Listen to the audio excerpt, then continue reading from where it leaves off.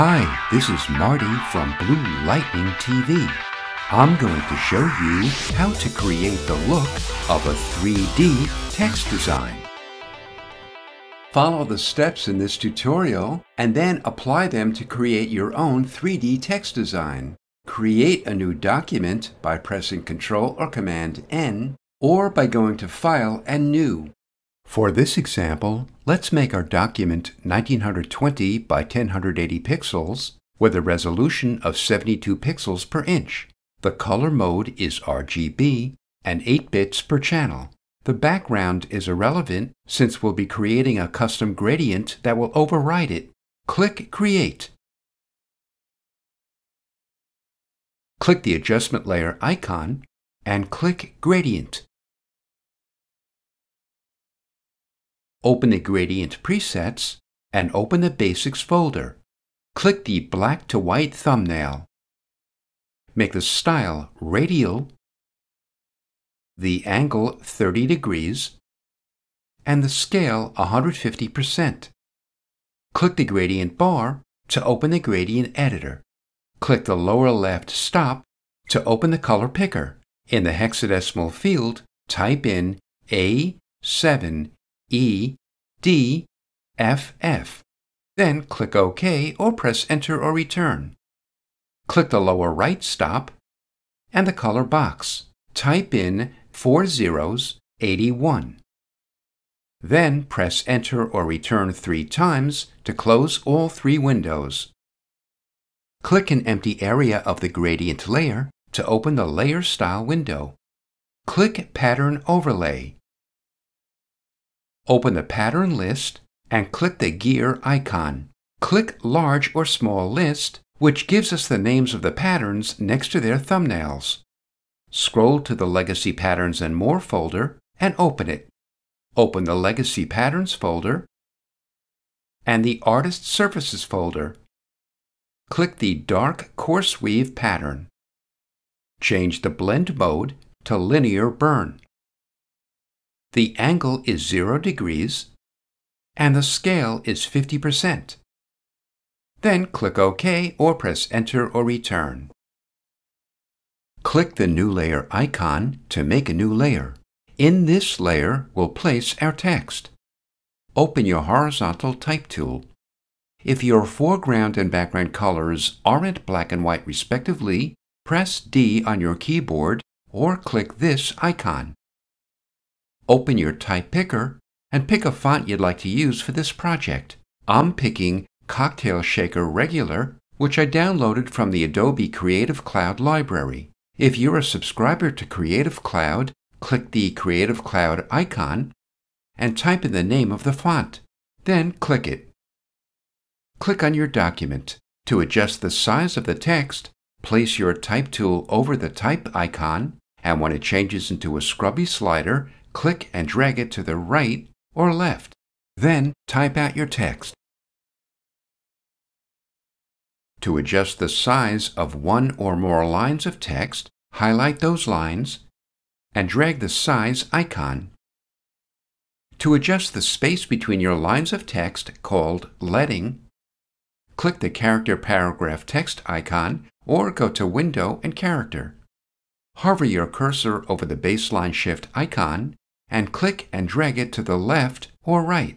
To move any of the lines to the right or left, make sure those lines are highlighted and place your cursor to the left of the first character or to the right of the last character. Press and hold Alt or Option and the right or left arrow key on your keyboard.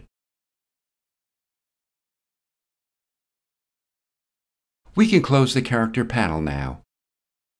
To adjust our text's overall size, open your Move tool and press Ctrl or Command T to open the Transform tool. Drag a corner out or in.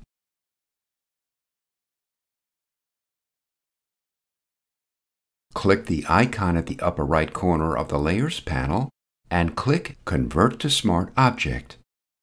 Doing this allows us to modify our text non-destructively.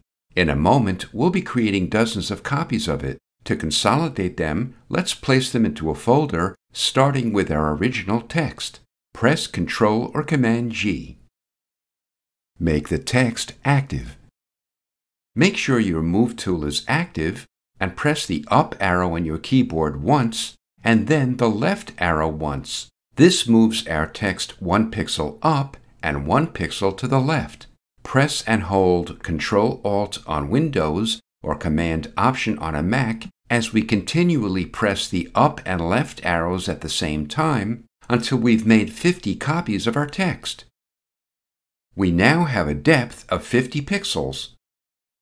Make the second layer from the top active and double-click an empty area of the layer to open its layer style window.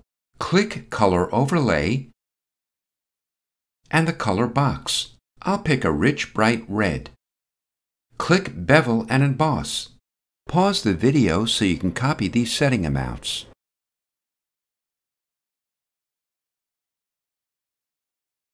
Right-click or secondary click on an empty area of the effects and click Copy Layer Style. Scroll to the bottom text layer and shift-click it to highlight it and all the layers in between. Right-click the bottom text layer and click Paste Layer Style. This automatically adds the layer styles to all the highlighted text. Scroll to the top and make the top text layer active. Double-click an empty area of the layer to open its Layer Style window. Click Gradient Overlay and the Gradient bar. Open the Basics folder and click the black to white thumbnail. Click the lower left stop and the color box.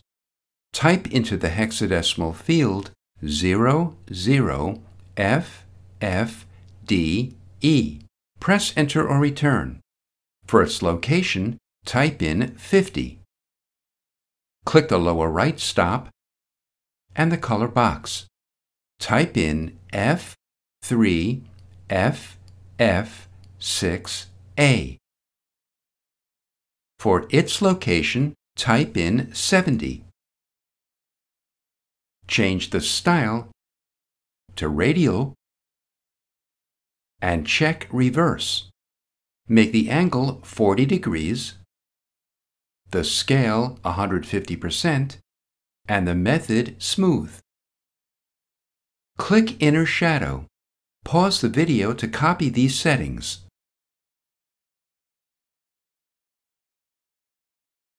Let's collapse the folder to save some space in the Layers panel.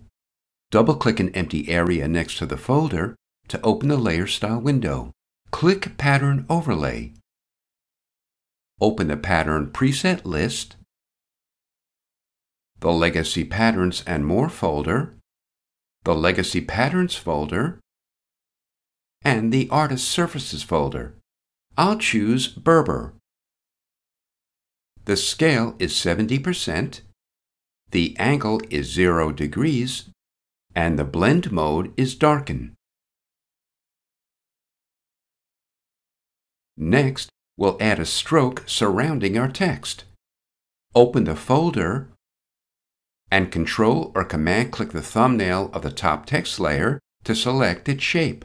Collapse the folder and make a new layer. We'll fill the selection with any color. At this point, the color is irrelevant. I'll fill it with black. Then deselect it by pressing Ctrl or Command D. Reduce the fill to 0%. This makes the color text invisible, but it'll retain the visibility of the layer styles that we'll be adding to it.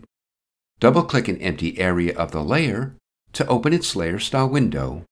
Click Stroke Click the color box and pick a color for the stroke. I'll type in C8FFFE. The size is 4 pixels, the position is center, and the opacity is 100%. Lastly, we'll create a shadow. Shift-click the folder to make it active as well, and convert both layers into one smart object. Control or Command click the text to select its shape. We'll make a new layer under our text by Control or Command clicking the new layer icon. Fill it with black and deselect it. We'll convert the shadow into a smart object as well.